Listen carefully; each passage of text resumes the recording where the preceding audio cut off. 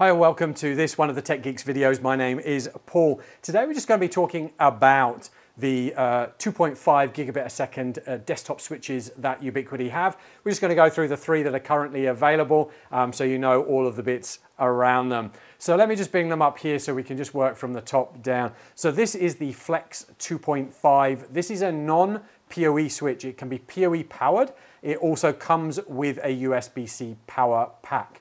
It's a five port switch, 2.5 gigabits a second of Ethernet on each one of those switch ports. Like I said, USB-C powered or PoE powered. It does not give out PoE on any of those other ports.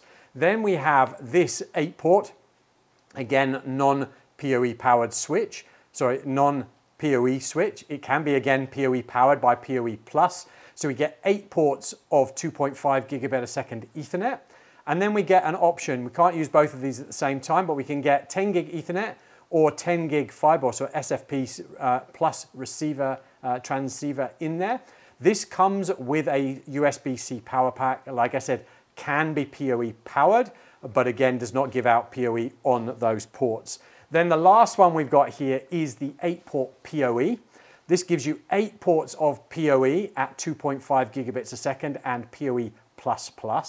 It needs to be PoE++ powered. So again, we've got this com combo, we can use one or the other. So we've got SFP plus 10 gig um, or 10 gig ethernet. So we can have PoE++ power in, and that will give us around about 97 watts of usable power across these PoE ports. Then at this end, we have an option to buy a 210 watt uh, power pack. Now, the power pack is roughly the same size as the unit, but that will give you around about 197 watts of power that can then be given out across your PoE++ plus ports. So this is a really versatile unit, but again, comes without a power pack in uh, the pack. So there we go. So we've got 8-port PoE without a PoE um, pack, without a power pack.